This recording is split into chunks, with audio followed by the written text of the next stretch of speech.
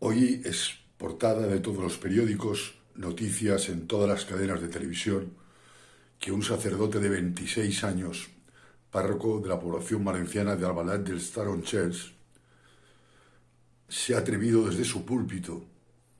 a condenar el aborto, que se ha atrevido a condenar la ideología de género, que se ha atrevido a decir que la Iglesia no admite la homosexualidad que la homosexualidad no es aprobada por Dios. Y se ha montado tal cisco que el arzobispado, siempre preocupado de la buena imagen de la Iglesia, siempre preocupado de tener buenas relaciones con los políticos y con la prensa, para no ser amonestado por la conferencia episcopal y por nuestro Santo Padre de Roma, se ha emitido desde el Arzobispado de Valencia un comunicando matizando las palabras del sacerdote, diciendo que no son exactas las declaraciones que han aparecido publicadas y pidiendo perdón el sacerdote por a, quien hubiera podido ofender. me llamo José de Sánchez, soy valenciano, soy católico, apostólico, no soy nada romano porque no he encontrado en los santos evangelios ninguna referencia a que ser católico y ser apostólico tenga que ser defender la existencia de un Estado. Admito el Papa que tenemos, como admito el obispo que me ha tocado, porque no tengo más remedio, porque no es mi competencia, porque no soy teólogo, pero sí que formo parte de la Iglesia, que es el cuerpo de Dios, la Iglesia, que es el pueblo de Dios en marcha, y la Iglesia, que es mucho más que su jerarquía. Por ser un periodista cristiano, por ser un periodista católico, por intentar hacer un periodismo, un periodismo coherente con la fe que tengo, me enfrento a 15 procesos judiciales, más el 16, que está a punto de salir la, salir la condena y que con toda seguridad me va a conducir a prisión. Tengo muy poco que perder.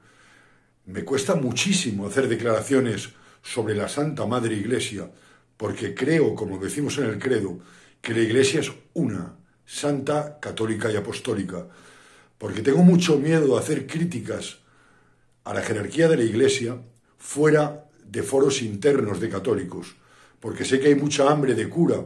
y muchas ganas de comerse vivo a los que seguimos creyendo en el mensaje de Jesucristo. Pero quiero salir en apoyo de ese sacerdote de 26 años que ha dicho vaya barbaridad,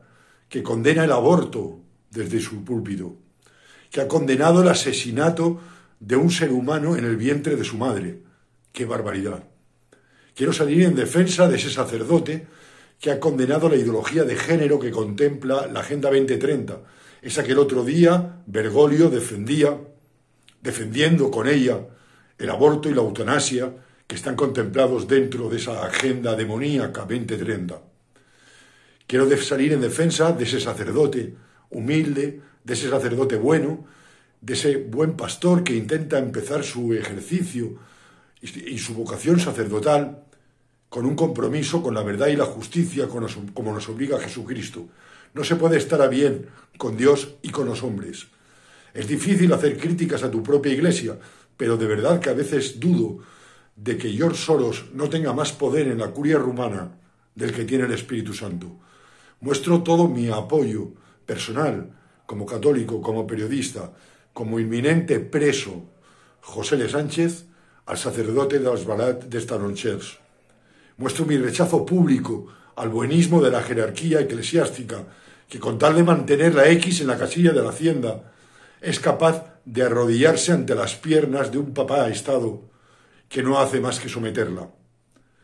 Y quiero hacer una defensa porque el mensaje de Cristo a veces es muy difícil mantenerlo. Porque a veces ser cristiano es muy difícil y hasta nos puede llegar llevar a prisión pero debemos llegar hasta las últimas consecuencias en defensa de nuestra fe. Si no podemos condenar el asesinato de niños en el vientre de su madre,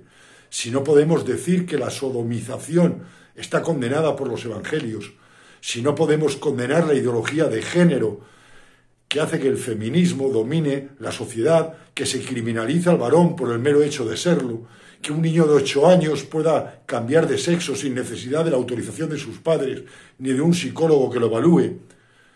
que convierte el sexo en algo que se llama género, cuando en el colegio nos enseñaban que género solo tenían las palabras y que destruye el concepto que tenemos que el hombre nace mujer o hombre y así es durante el resto de su existencia, tenga los deseos sexuales que tenga y se acueste y comparta relaciones carnales con quien desee. Si esto no se puede mantener, es mejor dejar la fe. Como no quiero dejar la fe, como no la voy a dejar, manifiesto mi más absoluto apoyo a ese sacerdote de 26 años que sigue defendiendo la fe de Jesucristo en un pueblo valenciano, en Albalat de Staronchers.